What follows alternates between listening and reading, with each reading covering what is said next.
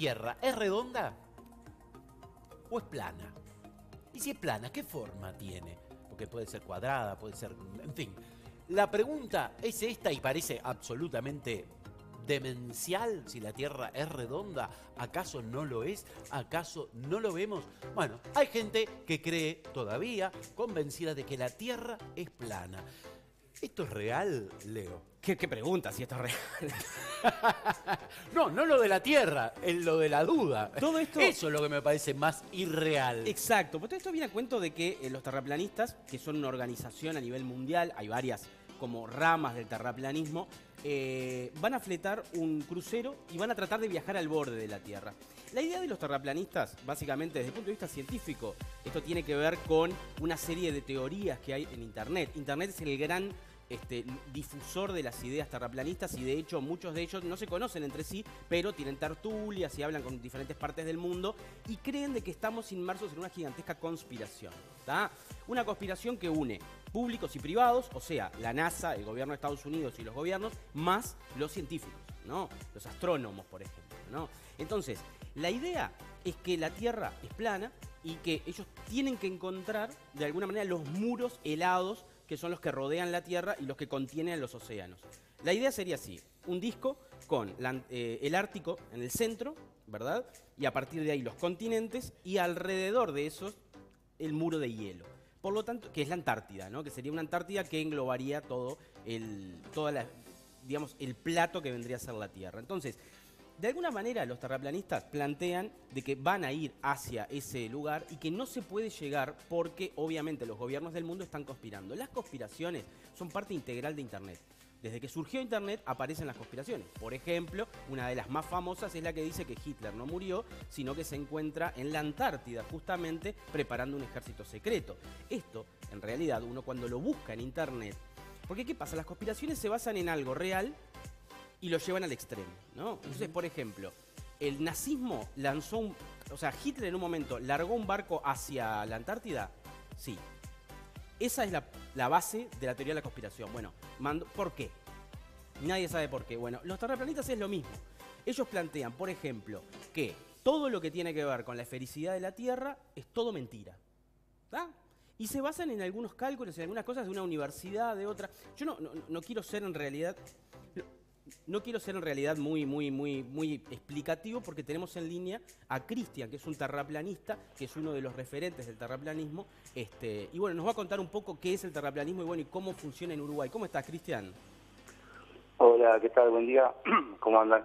Eh, antes que nada, agradecer eh, sinceramente de corazón este, la oportunidad para, para esclarecer algunas cosas, porque viste que a veces buscar en internet se puede aturdir un poco. Y antes que nada, de mentirlo de este viaje, este, eh, esto surgió de un canal, de un youtuber que, si lo buscan, este, solo buscaba eh, crear un, poco de ruido y generar vistas.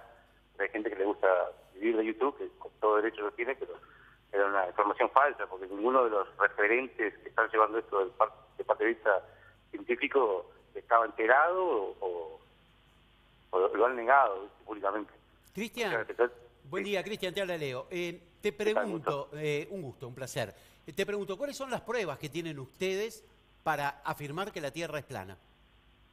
bien, mira, una de las, si no la principal, ahora justamente estaban tocando el tema de las inundaciones, y bueno, o sea, se puede hacer en laboratorio, se puede experimentar, que el agua siempre busca el nivel. o sea, vos no podés curvar el agua este, imagínate una, un, un planeta esférico girando a 1.600 kilómetros por hora sobre su eje, a 80.000 atrás del Sol, este, con agua. O sea, ¿cómo podés ponerle agua a un recipiente por fuera y que sea contenido? O sea, es imposible. O sea, el agua busca el nivel, básicamente, es una de las propiedades este, de los fluidos. Esa es la, la, principal. Después tenés que la línea del horizonte es apreciable al nivel eh, al nivel de, la vista y del mar, después es apreciable una línea recta a la altura de los aviones, que son 10 kilómetros, es apreciable a 35 kilómetros de altura, es apreciable a cohetes a 120 kilómetros de altura que se lanzan. Entonces, ¿en qué momento se rompe ese patrón? O sea, ¿quién pudo, quién puede determinar que la Tierra sea una esfera, y por ahora las, las eh, supuestamente, ya te explico, la, la discusión hasta los años 50 y se llevó, ¿viste? O sea, no había nada que dijera. Entonces entró el juego de la NASA y supuestamente la Blue Marble del año 72, del Apolo 17, muestra una supuesta foto, que en realidad no es una foto, es una imagen, es una foto a una pintura. Entonces yo te, te, pongo un desafío mínimo que, que divertido. Eh, poné imágenes reales de la Tierra en Google y te van a salir todas las supuestas fotos tomadas por la NASA. Y, y te digo, a ver si encontrás, si me puedes decir cuál es la falsa, sería genial. Eso este, creo que te puede poner un poco este, en contexto de qué es la información que se está planteando por parte de los este, organismos oficiales como la NASA. Ahora, el hecho que nosotros estamos conversando, mi voz eh, sale, de, sale de acá, la recoge un micrófono, pasa por la consola, sube un satélite que está pensado para dar vuelta a una tierra plana, envía una señal teniendo en cuenta la velocidad de la Tierra para que la, señal caiga en el mismo lugar para que te llegue a vos y lo mismo sucede con tu voz en el caso y con tu imagen en el caso de que la tuvieras. Eh, ¿Cómo podemos entender este fenómeno que está sucediendo gracias a que se calcula una Tierra redonda, no una Tierra plana? ¿Estamos negando este fenómeno?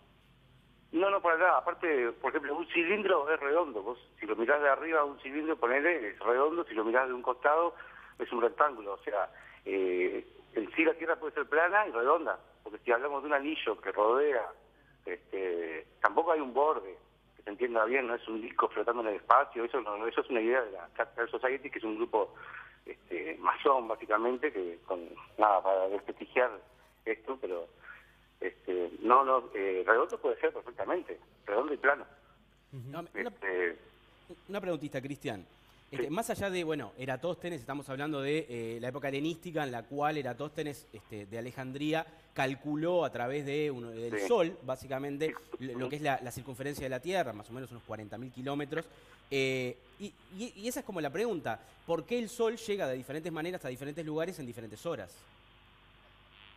bueno, lo, si uno se, se para y observa el sol, los sentidos te dicen que el sol se mueve arriba tuyo.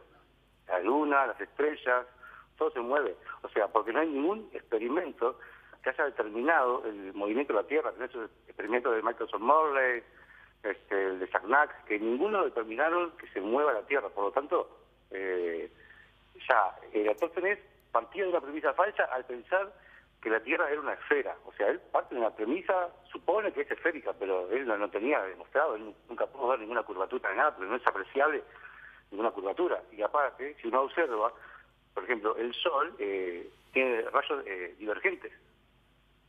O sea, él partía de que los rayos entraban en forma paralela, que eso no es observable en ningún sentido.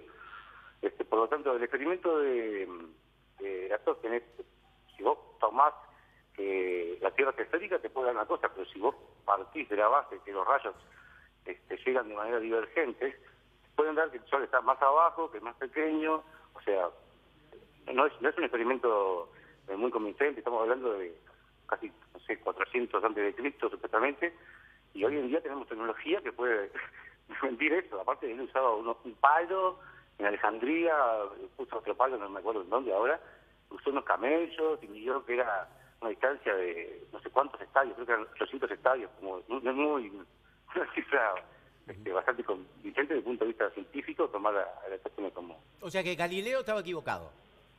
Sí, Galileo aparte estaba financiado por los jesuitas, es, como que hay una historia un poco fantasiosa, ¿viste? Es toda una...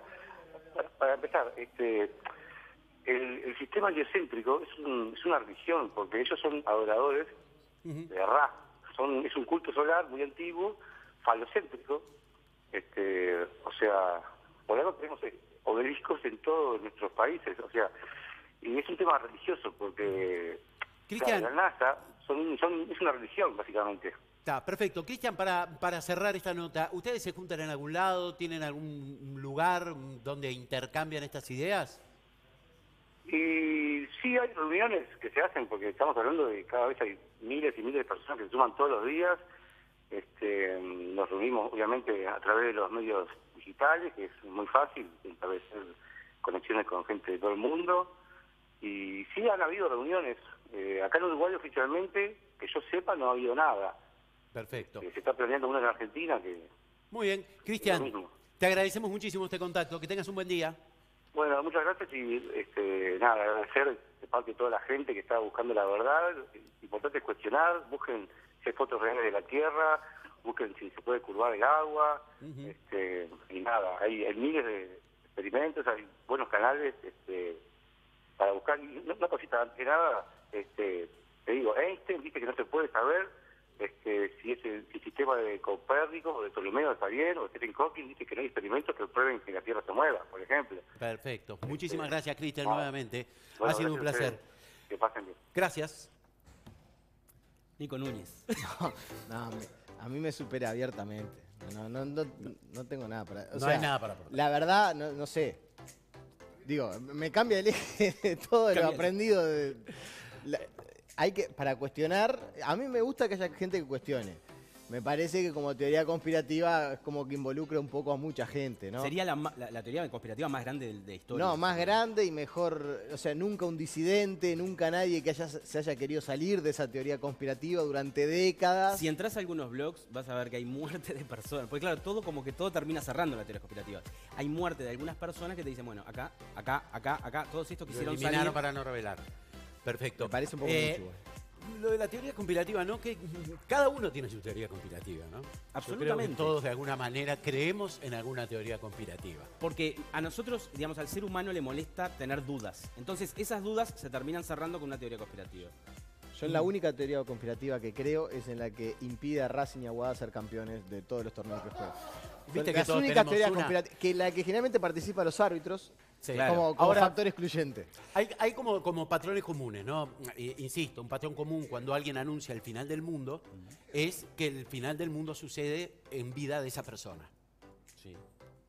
Vos imaginate, ¿no? Miles de millones de años y justo termina cuando vos vivís. ¿No? Es un patrón bastante raro. En el caso de las teorías comparativas es que uno generalmente se siente más inteligente que los demás. Absolutamente. Claro. Y por ejemplo, cuando uno le plantea, a- a- o sea terraplanista o sea de otro tipo de teoría conspirativa, una prueba, te dicen, no, pero eso está trucado. Por ejemplo, la foto del Lunar Orbiter, la cual él decía que está trucada. Entonces, vos quedás sin, sin. Vos decís, bueno, Claro. Por eso son patrones comunes donde uno, bueno, hasta acá termina la discusión porque no, no puede seguir porque no, no, no estamos hablando la- con las mismas herramientas, ¿no? En los mismos códigos. Si algún día se termina la teoría conspirativa y Racing es campeón, yo no sé si voy a sobrevivir a eso, a Veremos. esa emoción. Por Veremos cual, si te tenemos en la no mesa. sé si voy a estar acá para demostrar que, Que no, teoría- era que no se cumplió. Que no era con la teoría conspirativa. Un día menos, Nico Núñez. Vamos, vamos ¿Me bajando queda días. cuánto? Eh, dos semanas. Nada. Acá sí, Desde que venimos rápido. charlando esto es nada. Se ya pasa rápido. Totalmente. Y además se acomoda el tiempo.